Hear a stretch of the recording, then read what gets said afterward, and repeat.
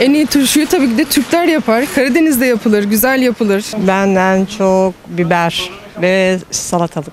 En iyi turşuyu biz Türkler yaparız. Tam bir şifa kaynağı ve antibiyotik deposu olan turşunun namı tüm dünyayı sarmış durumda. İngiltere, Fransa ve dünyanın bir ucu Avustralya hatta neredeyse dünyanın tamamı turşularını Türkiye'den alıyor. Peki siz bu eşsiz lezzeti seviyor musunuz? Turşu kim sevmez? Hepsini de severim. Yap, elimden yaparım yerim güzel yine hepsini ayrı ayrı. Kışın daha çok yerim doğruyu söylemek gerekirse. Yazın da yerim ama kışın daha çok severim. E canım çekti şimdi. Salatalıkları hard diye ısıracaksın kütür kütür.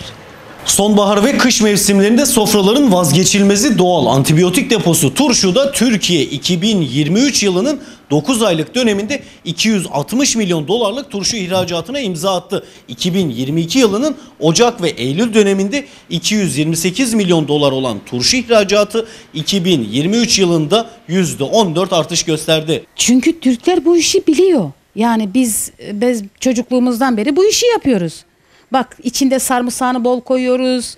E, tuzunu, biberini, karantili koyuyoruz ve doğal yiyoruz. Ondan doğal olduğu için. Her turşunun ayrı bir özelliği var. Her turşu da ayrı bir şeye yarar. Mesela turşu suyu bütün bakterileri içeriden atar.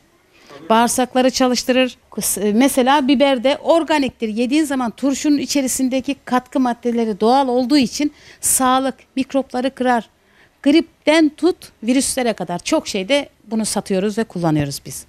Türkiye'nin turşu ihracatında ilk sıranın sahibi 118 milyon 200 bin dolarlık tutarla biber turşusu oldu. Bende en çok fasulye. Benim şu anda en çok satılan e, turşularımda fasulye önde gidiyor. Salatalık turşusu, fasulye turşusu. En iyi turşuyu biz Türkler yaparız. Bizden iyi turşu yapabilecek başkası yok. Ona karışık şeyler koyuyorlar. Yok nohutuymuş bilmem neymiş öldürüyorlar onu. Valla en doğalı açıp yiyebilir. Bak kıtır kıtır görüyorsun cam gibi. Ve bak ev yapımı olduğuna bakman için içindeki sirkesine bak her şeyine bakabilirsin. Bak kocabaş mesela koronavirüs döneminde doktorlar hani kocabaşı satıyordu Ruslar bir ara dönemde kocabaş dağıttı ya.